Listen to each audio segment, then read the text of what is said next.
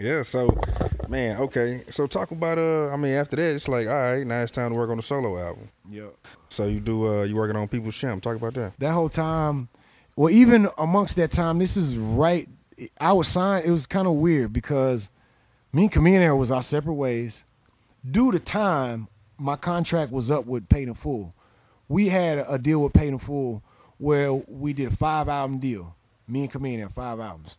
It was gonna be uh, two Paul Wall and Chamillionaire albums. It was gonna be a solo album from me, a solo album from him. Then it was gonna be a Water Boys album with me, Chamillionaire, 50-50, and Lou Hawk. Okay. We only did one album. Get your mind correct. That was it. Then we separate ways. So I felt even and there's a it was a clause that was you know if certain time passes and you don't put them out it's we free and clear or whatever so you can kind of wait out your contract but nobody want to sit out five six years you know? And I remember rest in peace with cricket. He used to always tell me hey bro it's been a long time since you put something out bro. And love of my money ain't gonna be hot forever bro. You gotta put something you gotta keep your name hot. You gotta keep putting shit out. And he he really I never forgot it him telling me that you know? And um, that's when I used to do a lot of uh, party promoting, and we run commercials on the radio. Me and Goo used to throw parties and shit. But um, but anyway, uh, so it, we um, I felt like we owed them five albums. We only gave them one. Get your mind correct. I felt like I can't give you four more albums, and I don't really want to. He Madd Hatta too was kind of like almost almost done because he's full time radio. He didn't care about rapping. He's doing full time radio, so he didn't really care about being a record label, and he never really was like in it to be a CEO record label, out signing artists, this and that, discovering artists. He only formed a record label to put his own self out. You know what I'm saying? Kind of same way I got All the Mob. I only started All the Mob so that I could put my own music out the way I want to without someone else trying to tell me, hey, put this kind of music out because it sell more music. You know, nah, I want to put out what I want to put out for the reasons that I want to put it out. You know, and so anyway, that's. I just felt like he kept it real with us and paid us when he didn't have to. When Southwest when Southwest Wholesale went bankrupt, man, Madd Hatta let me keep it real with you. I, I was already signed to the Swishahouse. This I just signed a deal.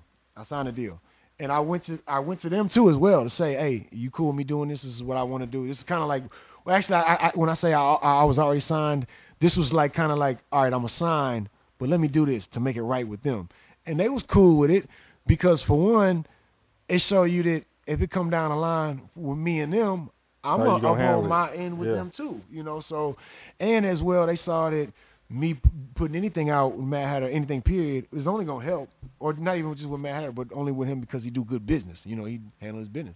But he um from so I, I came to him. I said, "Hatta, look, man, watch. I just signed with Watts and G Dash, and they cool with this. Look, I want to do an album with you first because I was already me and Kamina was working on solo albums with Paid in Full already anyway. So I already had half an album over there anyway done. This is a Chick Magnet album. which was Yeah. Chick Magnet. The other half I was recording on my own at the Gridiron with Pretty Todd, so in, in Calvin, so um Calvin Earl. So one time, one day, Madd Hatta met me over here at uh man, as a uh, man, actually, you know what? To be honest, now that I'm actually kind of went a little different. They had a contract there with me, and they telling me, and I'm asking them, is it all good? I called Watts. I mean, I called Madd Hatta over there to the Gridiron, and he came over there. He sat down there with me, with me in his Benz. I sat there and kept it real with him, how I felt about what me and Kamina had going on. At the time, Kamina had a studio right, right there where Paid in Full Studio was, right above it, or like around the corner, right the same building. So if I ever, anytime went to the studio Paid in Full, I was always gonna see Kamina. Now, if I'm going over there to create art, I don't want to be running into every single time somebody that I'm not getting along with or that I'm getting into it with. I don't even want to think that that might even cross my mind. I'm trying to go in another direction. So I kept, I told him straight up, man, there is no way I could even possibly come over there and do nothing with you going further when it comes to recording over there because I'm not trying to run into comedian and get into it with him or nothing like this or what. I'm not trying to go there. So let me, the way to keep it healthy long term right now is just for me to, whatever, I know my contract is up with you, but I got music over there I've been working on, and I got music here I've been working on. Come in here and check this music out. He came in there, he checking the music out, and he was kind of surprised that because I was kind of giving him a presentation, and he was kind of surprised because he wasn't expecting it. And I was like, man, this is what I propose. Man, let me put out my album with you, Chick Magnet, just so that I can feel like I'm living up to some part of my end of the bargain. Watson G, that's cool. I'ma sign with them. I'm so basically I'm signing with them, but they cool with me doing this with you, making right with you. So I'm not gonna give you. And he was like, he was like, man, I ain't trying to put this out just to put it out. And I'm like, nah.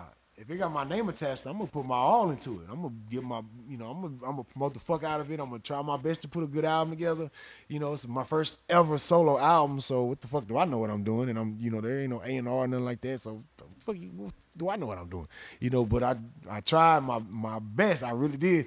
And shit, we put it out. We sold a shitload of music, and it did work. But that was kind of like my way of kind of at least thinking and thinking he might not Hatta might not have gave a fuck. Hatta might have been doing me a favor just by putting that out anyway to be real. Hmm. But in my mind, I felt like I gotta do right by you at least some way, even if I'm up due to contracts. And then we put out Controversy Sells as well.